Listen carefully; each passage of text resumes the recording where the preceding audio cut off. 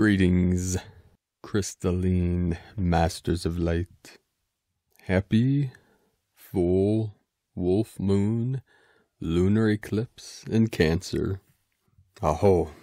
Today on the 10th of January 110 2020, it is 10:01 p.m. Eastern Time. How y'all feeling out there? Another day and night of intense waves coming into the field. It's been raining nonstop here for about the last 10 hours. It's about 50 degrees today. It felt like a nice spring day on January 10th. When normally in Ohio it's about 10 degrees and several feet of snow. But just another day of bizarre weather and changes here on the new earth. We had last night an anomaly on the Schumann resonance chart, what looked like to be a rainbow blast of adamantine crystal light, and a spike at 65 hertz. The earth is vibrating higher and higher, just like we are, and many bands of white. There is a triple, a trinity code within this resonance image, which I'll post at the end of this video. There were many earthquakes in uptick, 144. So there's the 144 code coming in through Gaia in the past 24 hours of M1.5 or greater. Largest Vanuatu at 5.5. Puerto Rico, multiple earthquakes every hour from 3.3 up to 4.8. We had a 5.4 in New Zealand. Guatemala 4.8. Last night, another sleepless night with these waves of energy, these cosmic waves coming in. I was up about 3:33 a.m. as I was walking around barefoot in the yard, taking on the divine feminine energy coming through the moon. It was interesting to be feeling those energies and taking in the crystalline DNA codes. Many light workers over the last few days have been connecting and talking about the intense energies they've been feeling. So the next three days are going to be very powerful with these galactic alignments, these galactic activations. We have the great ceremony, the great event in Uluru in the heart of Australia, which is the solar plexus of Pachamama. Many are gathering from around the world, and also the age of Aquarius meditation, global activation meditation, which will be tomorrow on the 12th, 1112. And tomorrow, as of this recording, there's a new wave spell on the Mayan calendar. It will be the Blue Night wave spell. Today is the last day of the White Dog wave spell. Tomorrow, the 11th to the 23rd, Blue Night wave spell, Kins 183 to 195. Awakening the collective dream of abundance. Today's first transmission through Aurora Juliana Ariel, PhD, a message from the holy Kumaras. Arise and shine, O glorious ones, for the day of the new dawn has appeared. Now we enter the time of glory, and with it the long awaited advancements of souls who are now awakening and taking their part in the grand earth drama that restores a world and empower souls to rise into their full potential selves. We have long worked with those of earth to instrument the golden ages of the past.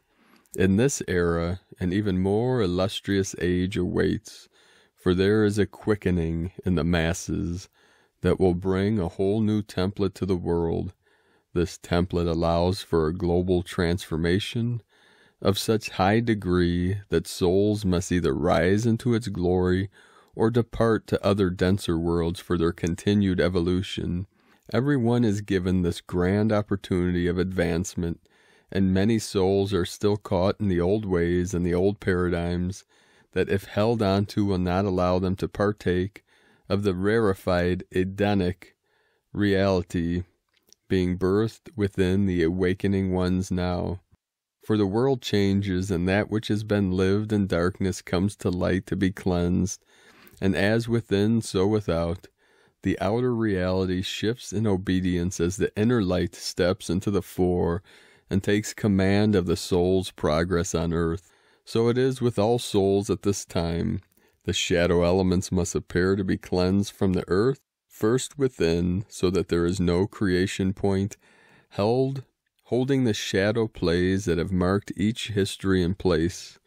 The great cleanse is taking place at a more rapid rate than ever before. Thus we come with our beloved Aurora to champion those who would be masters in their own right. We help train those who attained the yearly and other programs to become sacred alchemists and also counselors using the quest.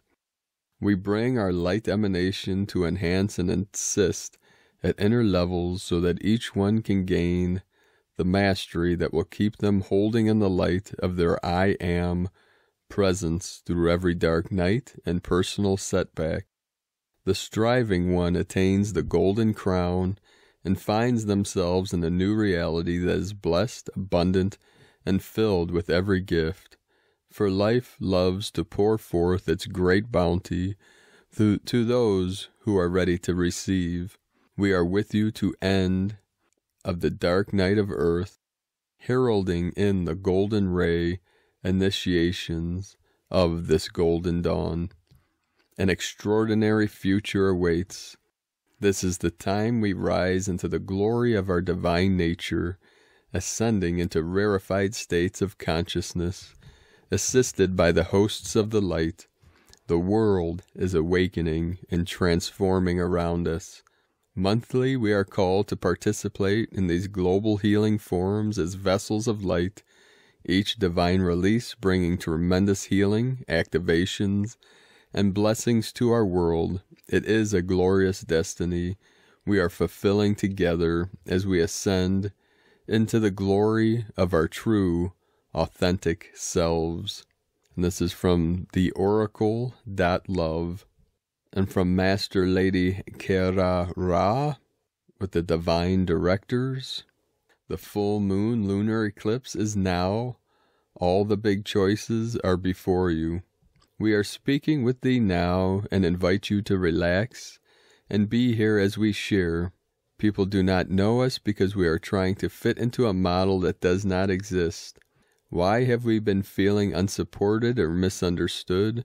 When the truth is that we are clear and we are aware.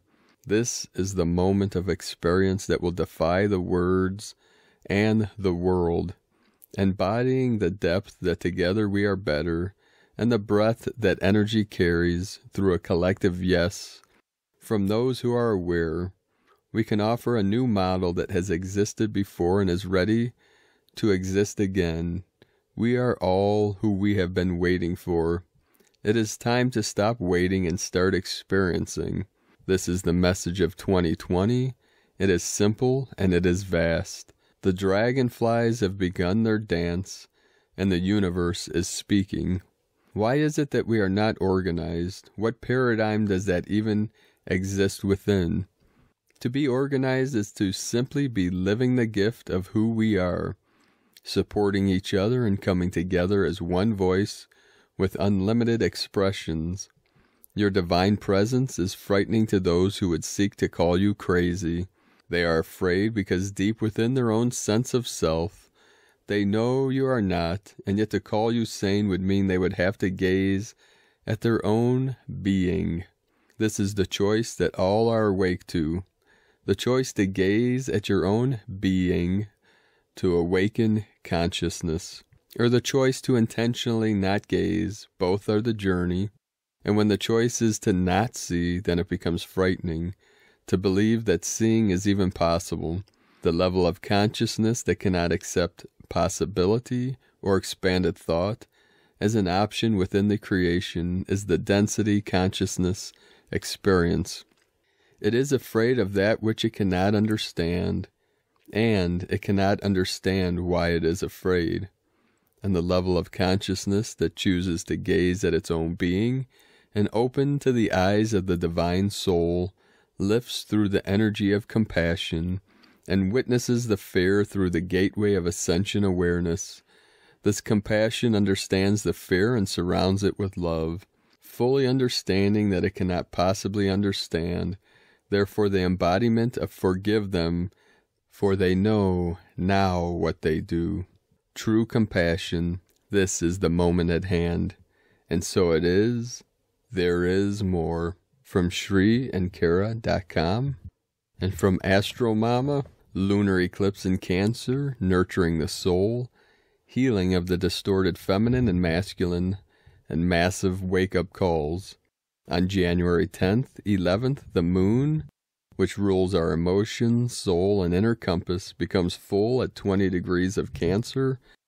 Cancer, the fourth zodiac sign, represents the home, the mother, comfort, security, and nourishment. We have now entered into another eclipse cycle. Lunar eclipses are full moons with 10 times the intensity and power of regular full moons. They herald massive completions, endings, and manifestations. This is even stronger as the moon is at home, as she is the natural ruler of the sign of Cancer. Brace yourself. This baby is going to be the most emotional lunar event of the year. The lunar eclipse in Cancer is here to awaken a desire to bring nourishment and comfort to our lives. There is a softening that wants to be established, and this could feel rather emotional and full of intensity. Our soul is wanting connection to Source, and the themes of security, mothering, and safety are huge with this lunar eclipse.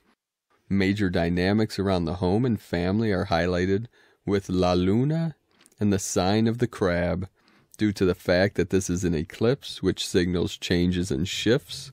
We could feel that some aspect of our soul and emotional states must alter and transform.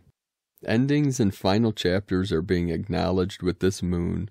We might want to hide from the depth of our emotions, but the lesson of this lunar eclipse is to face our feelings and step forward with integrity and honor embracing our feminine and masculine polarities with peace and reverence will be major themes at this time. The magnitude of energy of this lunar eclipse is also being felt by the aspects La Luna is making to her other planetary friends. Both Saturn and Pluto are opposing this moon at 20 deg- 22 degrees of Capricorn. Saturn is the planet of karma, restriction, obligation, and patriarch. Pluto is the planet of transformation, power, death, rebirth. Capricorn, the 10th zodiac sign, deals with order, structure, destiny, responsibility, and mastery. The lunar eclipse opposing Saturn will create a push and pull between our emotions and obligations. It is as though we are want to go to the depths, but our inner masculine wants to resist the pull to be too emotionally driven. The lunar eclipse opposing Pluto will set up a power struggle between our security versus our evolution to change. The dynamic between both will set us up for some extremely emotional and karmic situations to play out, perhaps with struggle and intensity. The healing of the feminine and masculine sides of our identity is huge with this moon cycle.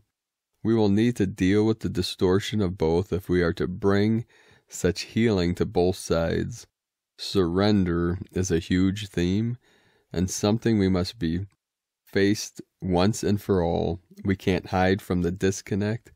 We must walk towards both sides with humility, honesty, and courage. The lunar eclipse in Cancer is here to honor the depth of our feelings and the beauty of our deepest emotions. No other sign can be in the depths of their feelings as the moon in Cancer. There is an opportunity with this lunar eclipse to place old traumas connected to our mother or inner feminine to rest. The yearning to embrace and accept our divine nature will be strong at this time. Remember, if things are falling apart, it is essential to still care and protect yourself with the love of your inner mama. The lunar eclipse in Cancer is here to bring finality and endings to our inner struggles of neglect and lack. La Luna, home in her sign of crab, is here to awaken our inner nourishment, balance out the feminine and the masculine polarity, and create a sense of inner peace and hope.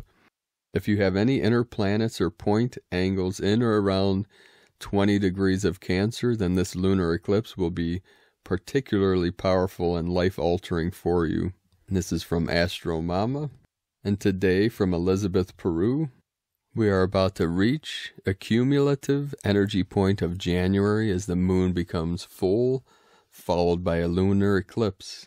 This cosmic event has helped you to bring deep, lingering insecurities to a head so that they can be acknowledged and released over the coming 24 hours. If you've been restless, unsure, and tired or motivated, inspired and vibrant, we all experience these eclipses differently depending on our life cycle and readiness to shift. Then the coming 24 hours could see you making decisions easily, seeing and accepting a situation from the heart space, opening up and letting your deep truth flow.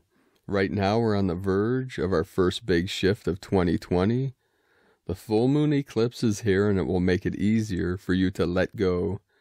You have the full backing of the sun, moon, and earth on your side, so you could feel emotional, unsure, or on the edge. It's okay. That's normal right now. You're ready to release the past. From ElizabethPeru.com. And from the Tzolk'in Times, White Cosmic Wind. Cosmic is the name for the number 13, and its keywords are transcend, endure, and presence. It's the last day of the White Dog wave spell, and on the last day of any wave spell, one needs to digest the experience before moving on to the next. Today is White Wind, and its keywords are communicate, breathe, or breath, and spirit. Communications on a cosmic day can be tricky. Endure to communicate on the other hand, we can also transcend communication from spirit. However, you slice it up, it's quite a powerful day. Make your communication count, and if you need to either send or receive communication from spirit, the channels are wide open. And from Christina Papageorgiou, White Cosmic Wind, Kin 182, 10 January 2020, 10 1 2020 equal 10 1 4 equals 6 10 manifestation power leadership. 1 new beginnings. 6 heaven christ consciousness. Kin 182 equal 11 equal 2 partnership cooperation duality. An expansive day with lots of expansive divine love and guidance from spirit to carry you forth into new realms of creation. And so we arrive at day 13, the final day in the White Dog Wave spell of unconditional love, loyalty, devotion, service, friendship, and faith.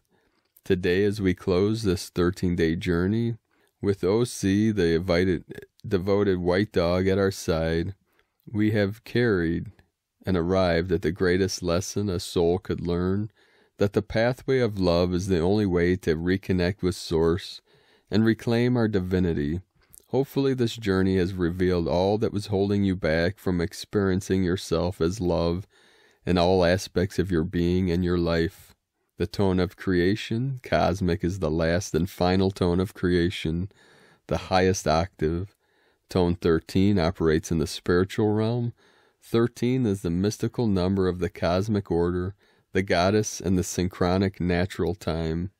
Today, you have incredible spiritual power at your disposal to transcend all those old patterns that have blocked the inflow of love, releasing the limited conditioning where the world and all its trappings dissolve into the cosmic mists. We can transform them by our pure presence, translating into pure bliss. We have arrived. Adsum, I am here. This is the stage of having transcended the physical, emotional, and mental realms and arriving at cosmic consciousness. So today we can be still and realize the connectedness of all things through the web of creation, transcending all but the power of divine love through the frequency of pure internal presence, total cosmic expansion, having journeyed from human love to discover the expansiveness and pure presence of divine unconditional love as a potent creation force throughout the cosmos. Finally, let's go cosmic, the transcendent dynamic that runs the whole show, the all encompassing everything that is the cosmic 13, perfectly transcends taking magic flight and returning to the one, magic tone one, once again. God's source is calling you to actively listen. Can you feel the presence of white wind riding on the waves of pure cosmic consciousness? So, blessed dear ones, a powerful day for listening and communicating in pure devotion to Spirit as you hold the pure presence of unconditional love through your being. Today's question is How can I surrender to the voice of Spirit, holding the pure presence of unconditional love in my heart.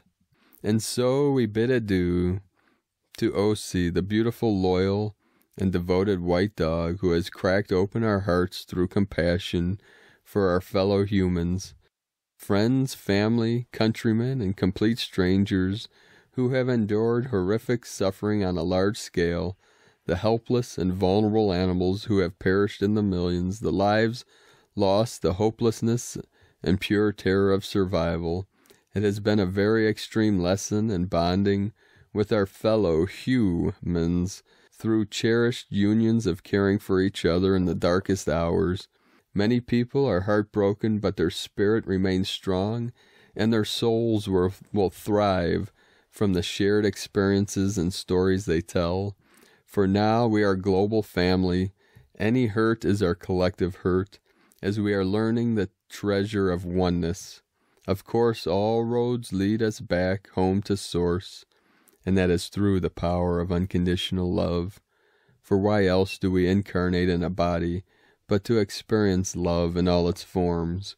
Tomorrow we commence a brand new wave spell as we journey deep into the dream time with Akbal the mystical, intuitive blue night, who will guide us into the deep subconscious dreaming that holds the keys of awakening collective abundance.